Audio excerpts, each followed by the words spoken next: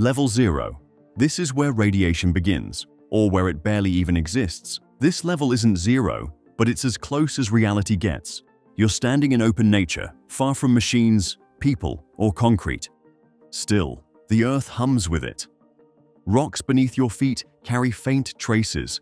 The sky above bathes you in the tiniest particles from the sun and distant stars. Your own body is slightly radioactive, just because it's alive. This level of radiation, it's called background radiation. You breathe it, sleep in it, live in it. Every second of your life, you're exposed to it roughly 0.1 to 0.2 microsieverts per hour. It sounds like science fiction, but it's not even enough to raise an eyebrow. You'd need a Geiger counter to even know it's there. No symptoms, no harm, no reason to think about it. It's just part of existing on Earth. It's like cosmic white noise. No one notices it, no one needs to. Level 1. The volume turns up. Slightly. Still safe, still background. But now we're moving into the low range of artificial exposure. You eat a banana, that's level 1. You sip a glass of water, go near granite countertops, walk through a brick building, that's level 1 too. It's the kind of radiation that's all around you every day with no danger. The reason? Potassium-40, a naturally occurring radioactive isotope found in food. Your body handles it the way it handles salt or sugar, it knows what to do. Radiation at this level is part of your daily routine, and your body's used to it. You might absorb one or two microsieverts a day like this. You could eat 100 bananas and still not be in trouble. Machines detect it, but your body doesn't care. No risk, no reaction, just atoms doing their thing. Level 2. Radiation here is still harmless, but it's worth measuring. You won't feel it. But now you're in a slightly elevated environment. Maybe you're at a high altitude, flying in a commercial airplane, or you're near a pile of phosphates or certain volcanic rocks. These places aren't dangerous, but they're monitored. At this level, you might get about 5 to 10 microsieverts in a single event. Still not a big deal. That's less than one dental x-ray. Radiation protection guidelines call this low-level exposure. But for sensitive equipment or long-term health tracking, it matters. Hospitals, nuclear facilities, and airlines measure this to stay cautious. You could live here for years with no ill effects. But this is where scientists start to keep records. Not because you're in danger, but because they're paying attention. It's safe, just not unnoticeable anymore. Level 2 means time to start writing things down. Level 3. Radiation here is noticeable, not to your body, but to your safety officer. This is where protocols begin. Exposure at this level can occur during certain diagnostic medical procedures, a CT scan, for example, it might deliver a few millisieverts in one go. That's thousands of microsieverts. Still not dangerous in small doses, but you wouldn't want it every week. Level 3 is the threshold where radiation can start to accumulate in meaningful ways. One dose? No problem. Five doses? Still probably fine. But a hundred? That's where things shift. Radiation is cumulative. Your body repairs damage, but only up to a point, this is the level where workers wear dosimeters, not because it's unsafe, but because no one wants to guess. You could stand in this for hours with no symptoms. But over time, exposure adds up, and the last thing you want is to find out too late. Level 4. The line between safe and unsafe gets thinner. Here, radiation is high enough to cause real biological effects. If exposure is prolonged, we're talking tens of millisieverts, still not lethal, still not instantly dangerous. But if you work here without proper shielding or time limits, you're playing with something real. This is the kind of radiation environment found at the edge of accident sites or in certain parts of old uranium mines. It's also what you'd get from a full-body PET scan. Again, one dose, totally safe. But spend a week here, unprotected. Your cells start to notice. You may not feel it right away. No burns, no nausea, no hair loss. But your body's internal repair systems are now on duty White blood cell counts might dip. DNA strands might suffer subtle breaks. It's not science fiction, it's biology. Governments define safety limits here for a reason. Not because you'll die from walking through once, but because radiation is like sunlight. Too much, too often, and the damage begins. At level 4, experts take the lead. This is a workplace for robots, suits and warning signs, not tourists. Level 5, this is where radiation becomes physically dangerous. Short exposure is still survivable, but now symptoms start. We're talking about 100 to 500 millisieverts. That's enough to trigger acute radiation effects in some people. You might feel fatigue or nausea or a headache that doesn't go away. These aren't vague symptoms. They've been studied. Nuclear technicians exposed to this level are sent for immediate monitoring. It's not theoretical. This is what people at Chernobyl and Fukushima experienced. In the outer zones, inside this range, your risk of developing cancer later in life increases. And if you stay too long, the symptoms get worse. Hair loss, lowered immunity, temporary sterility, still survivable, still treatable, but now radiation isn't an abstract number on a meter, it's something you feel. This is why suits exist, why lead-lined walls are built, why time limits are strictly enforced. Because at level 5, radiation is not a background feature. It's a hazard. You don't get to ignore it anymore. You plan for it. You track it. You respect it. Level 6. Now radiation doesn't wait to make itself known. You don't need to ask if something's wrong. Your body answers for you. This is where acute radiation sickness begins. A dose in the range of 500 to 1000 millisieverts, or half a sievert to one full sievert. If you receive it in a short burst, like minutes to an hour, symptoms can appear within a day.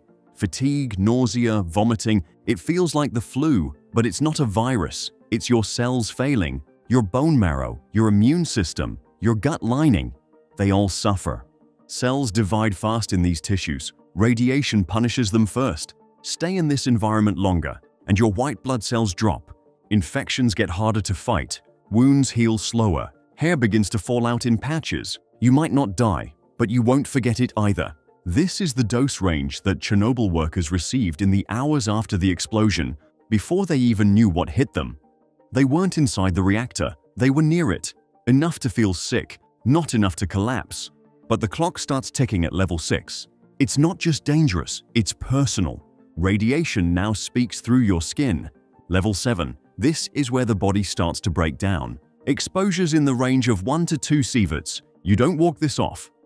At this level, half of all people exposed without treatment would die, not instantly, but over weeks. Radiation sickness becomes systemic, vomiting within hours, severe diarrhea, uncontrollable infections, your bone marrow stops working, your immune system collapses, you bleed from gums, from the nose, from beneath the skin. These aren't symbolic symptoms, they are diagnostic, and they mean one thing, the damage has gone deep. At 2 sieverts, the survival rate with no medical help drops dramatically. With treatment, isolation, antibiotics, transfusions, you might pull through, but only if your internal organs hold on. Many don't. The 1986 Chernobyl disaster gave us the clearest examples. Some firemen and engineers, exposed in the early hours, absorbed doses at this level. They were rushed to hospitals, but for most, it was too late. Death came in weeks. Level 7 is not theoretical. It's been lived and died by real people. It's the level where radiation no longer hides behind numbers. It has a face, and it's suffering. Level 8. This is beyond rescue. Radiation doses here are in the range of 3 to 6 sieverts, and the effects are devastating. At 3 sieverts, survival is possible, but only with aggressive treatment. At 4 sieverts, half the people exposed will die even with modern medicine. At 5 to 6 sieverts, almost no one survives. This level destroys the body's capacity to recover, not over time, but rapidly. Bone marrow is annihilated, cells lining the intestines die off, nutrients can't be absorbed, dehydration sets in, the heart and lungs strain to keep up, and worst of all, the brain begins to suffer. People exposed at this level often become confused, disoriented, they lose coordination, they slip into unconsciousness, sometimes within hours, this happened to plant workers and military personnel in the worst radiation accidents in history. Their dosimeters often maxed out, unable to even measure the full extent. Burns appear on the skin, not from heat, but from energy released inside the body. This isn't like sunburn, this is your tissue falling apart. At level 8, there are no mild cases, only slow or fast declines. Hospitals shift focus from treatment to palliative care, pain relief, comfort, and ultimately, farewell. This level is not survivable in any practical sense. Level 9. This is pure horror. Doses above 10 sieverts, enough to kill in hours. At this level, the central nervous system is struck down immediately. Within 30 minutes, nausea, vomiting, and disorientation. Within two hours, tremors, seizures, unconsciousness. Within a day, death, not from infection, not from internal bleeding, but from neural failure. The brain itself begins to shut down, signals misfire, organs stop responding. This is what happened to the Chernobyl workers who stood on the edge of the exposed reactor. They were blasted by intense gamma radiation in seconds. One man received over 16 sieverts. He was dead within hours.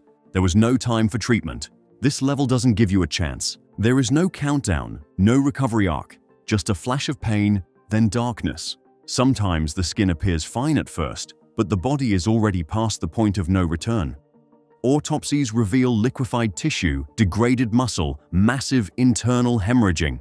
This isn't death by damage, it's death by obliteration. The body has no defenses. This level is considered unsurvivable, not because we haven't tried, but because biology just can't keep up. Level 9 is the reason radiation is feared. Level 10, hypothetical. This level has never happened, but it could. We're talking about exposures above 20 sieverts, maybe even higher.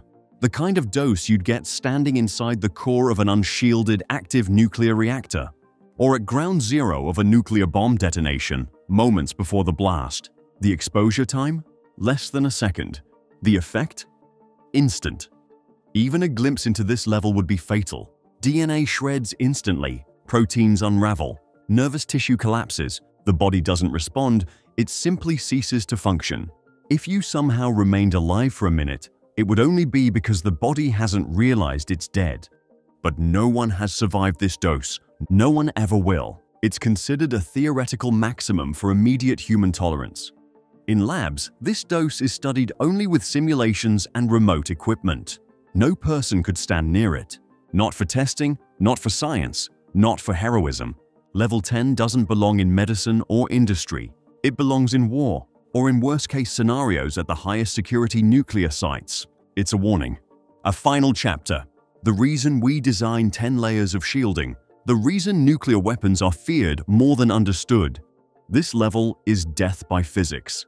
A dose so fast and complete, it bypasses pain and reaches erasure. If it ever happens, we won't be here to explain it. If you enjoyed the video, make sure to subscribe it for more fun stuff like this.